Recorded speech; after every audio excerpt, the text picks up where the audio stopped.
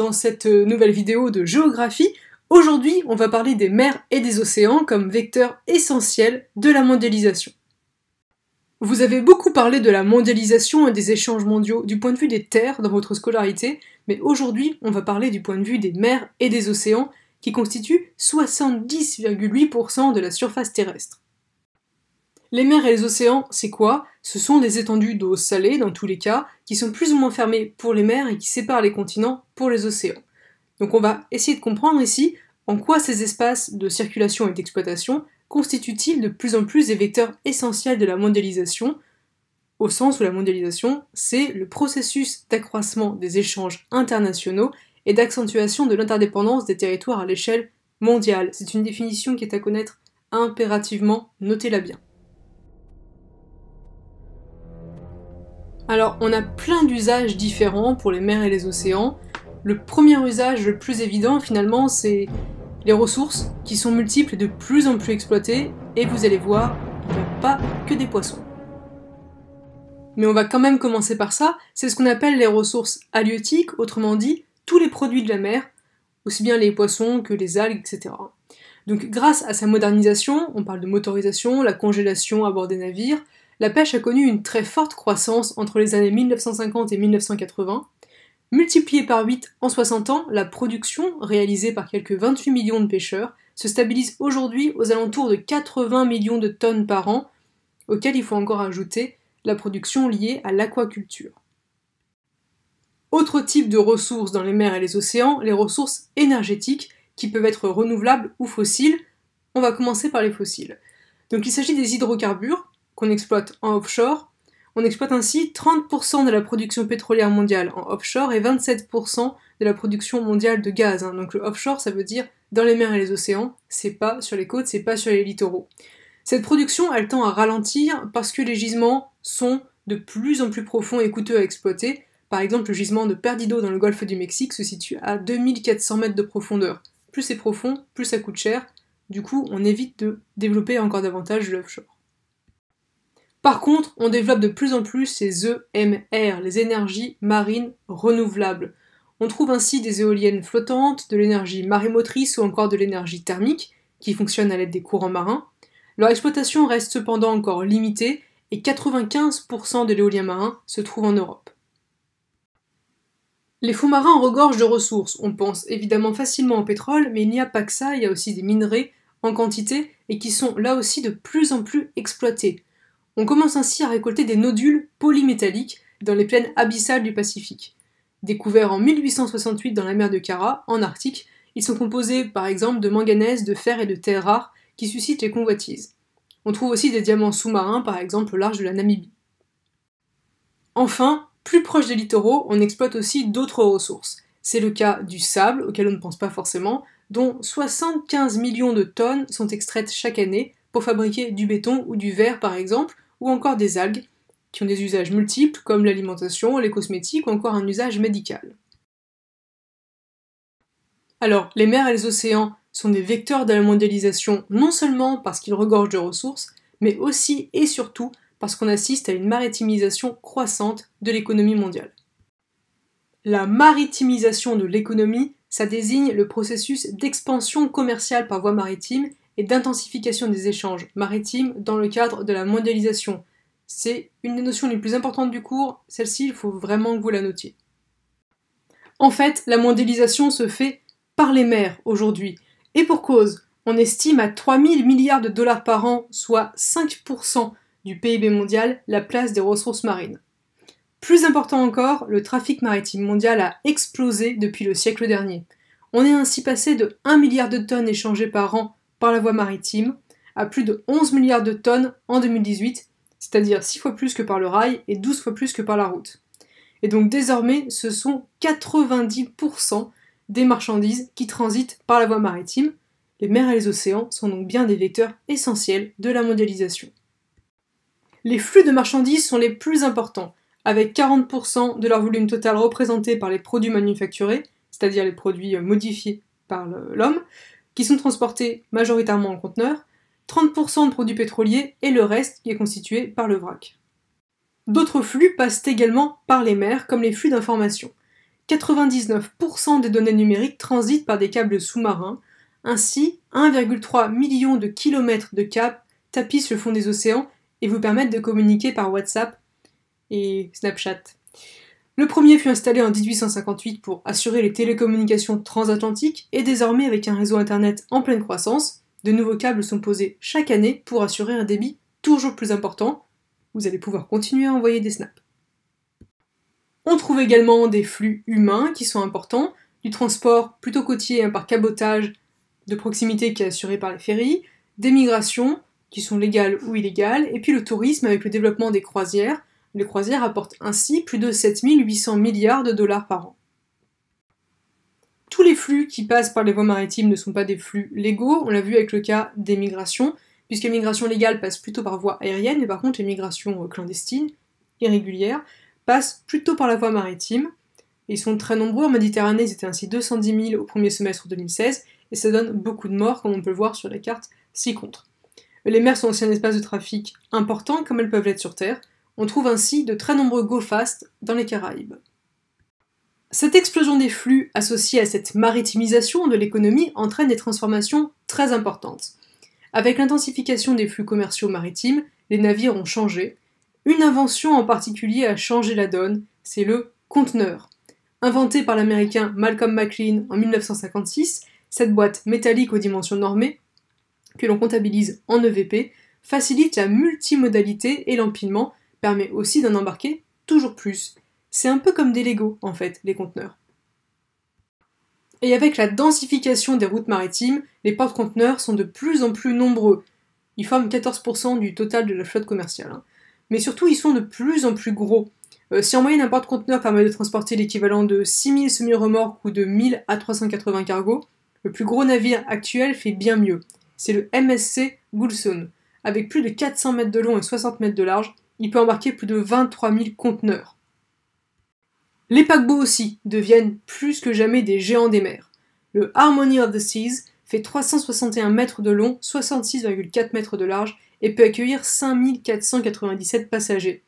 À côté, le Titanic, euh, c'est une coquille de noix. Hein.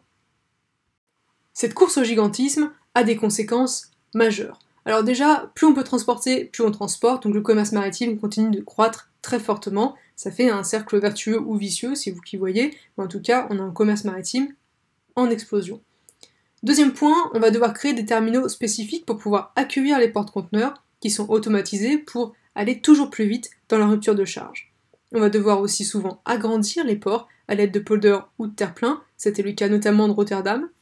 Et puis surtout, surtout, on va devoir placer des ports en eau profonde parce que ces géants des mers, ils ont un tirant d'eau très fort. Donc on doit les mettre plus loin des côtes que les terminaux habituels. Par exemple à Yangshan en Chine, le port à conteneurs a été construit à 32 km de la ville. Enfin, non seulement il faut agrandir les ports, mais il faut aussi agrandir les canaux, puisque ces navires gigantesques ne passent plus par les canaux qui ont été pensés il y a un siècle de ça. Le canal de Panama a ainsi dû être élargi en 2015, mais ce qui était prévu en 2006 n'est déjà plus assez grand en fait pour accueillir les plus gros navires qu'on a aujourd'hui, comme le MSC Gulson. Enfin, dernier trait majeur de cette économie maritimisée, c'est la tendance à la concentration entre les mains de grands groupes. Les marins-pêcheurs sont toujours nombreux, on a dit sur 28 millions dans le monde, mais ce ne sont pas eux qui sont en charge principalement du commerce maritime. De grands groupes de pêche dominent le marché, comme Thai Union, à qui appartient Petit Navire.